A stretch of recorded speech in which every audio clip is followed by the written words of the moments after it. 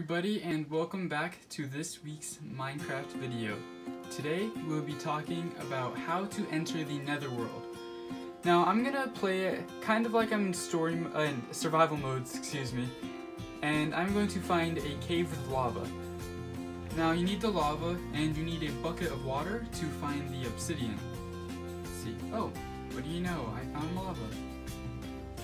So I'm gonna put some water up here. As the water drops on it, it makes it obsidian. And the only way to collect obsidian is with a diamond pickaxe.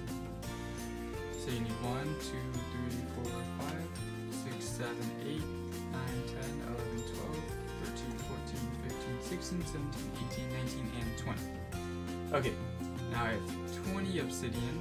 I believe you only need about 14 to make the portal itself. now that I have my obsidian, I'm going to put four on the bottom. That's right. And one, two, three, four extra on the side.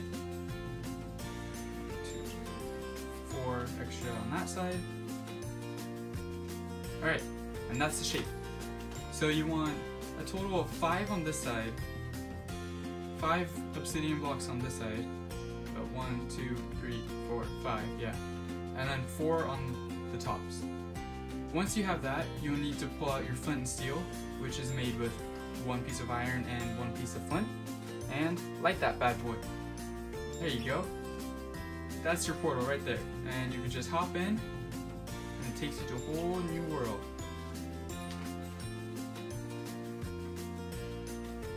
Okay, now that we're back in this world, it takes a little bit to load, sorry about that cut take out all the fire. I just want to show you guys how the entrance looks. Now every entrance is going to be different because this isn't, this what you're looking at isn't what the netherworld is. This is just like in the middle of a mountain. The, the actual portal takes you to random coordinates in the netherworld. But since I am in creative mode, I'm just going to cut through it all. Ah, oh, here we are. Okay, so this is what the netherworld looks like. You have some quartz up there, zombie pigman, a magma cube. Right off the bat, these are all the creatures we're seeing. Alright, if we come down here, we'll see some gravel. Now, if you ever find some floating gravel, be careful, because if you step on it or you do one wrong thing to it, that floating gravel will no longer float, and you will fall with it. Let's see. Just like that so be careful with that. Anyways, the netherworld is full of lava, just like this. This right here is called glowstone. When you break it, it drops glowstone powder, and you need enough powder to make one block. And there are also dungeons in the netherworld.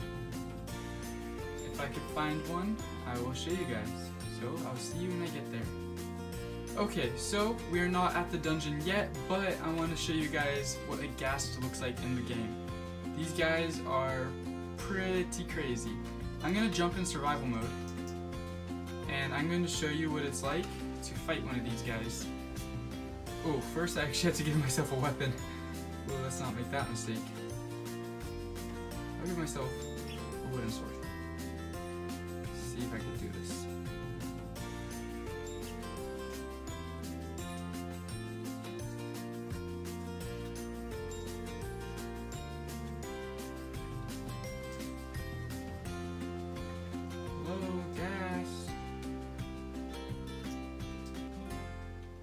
Oh, this is soul sand. Soul sand makes you walk a little bit slower.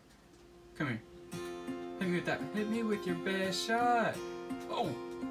Alright, so what he just did was he shot a, a fireball at me. Yeah! And I hit it with my wooden sword. It doesn't matter how strong your sword is. I believe you could even hit it with your fist, to be honest. Let's see if they ever want to... Come here. Oh! He hit me. Okay. Okay. This is not good. I don't know if you could hit it with your fist or not, but Oh, he's gonna regret this when I jump back into creative mode, I'll tell you what. Do it. Oh! Okay, do it. Oh, okay, so if you, you want to hit him with his own fireball, that is the best way to defeat him. Or if you have um, a crossbow, a trident. I wouldn't waste a trident on a ghast, though. Ow! Oh, oh! Oh! I've never done that before. Okay. That was cool. That was cool. I'm glad I I'm glad you guys were here and saw that happen. Okay. Now I'm gonna hop back into creative mode and find you guys that dungeon. See you guys then. Alright.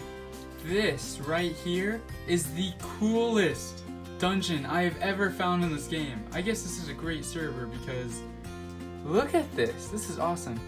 Anyways, the dungeons here have chests throughout the map that have random loot. Some will have saddles, name tags, swords, iron. And you can just roam the whole thing. You'll find some skeletons every now and again. You'll find some wither skeletons and some blazes. Now if I could find at least one of those. Oh, what are you doing here? He'll be fine. He lives in lava.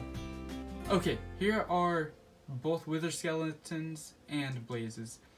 Now, Wither Skeletons, you have to fight them so you can take their heads, and once you get a certain amount of heads, I'll show you what they look like. You can actually get them in creative mode. Right here.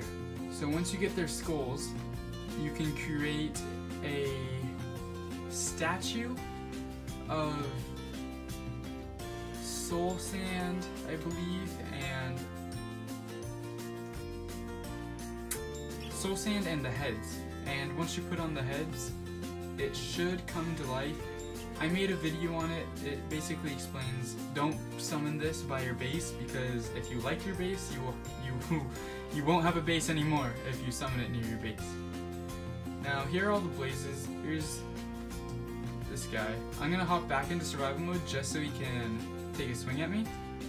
Oh, okay, yeah, and my health is all black. Ah! Gonna go back in creative mode. Alright, you saw how my health turned black, and it just kept doing damage to me. These guys are really tough, but they're also not that hard to... Oh, okay, well, that was a bad example. Um, let me find another guy. Okay, so here's with a wooden sword four hits to take him out. Blaze Rod, or Blaze Rod, sorry, that's what they drop. With a blaze, I hit one, two, three, four with a wooden sword. Pigman, probably four.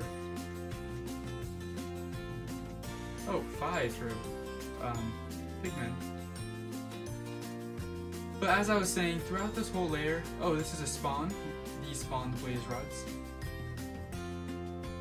throughout this whole cave, or this whole dungeon, you will find treasure chests like the one we saw before, this one right here, containing a golden horse armor and two diamonds, soul sand, some mushrooms in there, more wither skeletons, there's another box. There we go, now there's some flint and steel in this one, iron, gold sword, gold ingot, and another one so those are dungeons. That's really all that the Enderworld had. Um, sorry, Enderworld. This is all that the Netherworld has to offer. And if you want to get home, you just go back to your portal, but I have no idea where the portal is because I decided to fly around. Luckily, I am in creative mode and I have unlimited obsidian. Okay, and it looks like my new portal took me somewhere completely random. That makes sense. Ooh, more lava. I can make more obsidian. Alright, as I go up to the other world... Ooh, it left me underwater. That's dangerous. Oh! Okay, this is gonna have to be in another video. This is a biome, one of the most rare biomes, I believe, called a mesa. Wow, okay, I've never been here before. That's a detour in this little video for this week, but that is all for this week's video.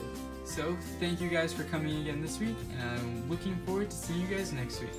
Once again, I am Mr. Preston, and I'm signing out. Bye guys!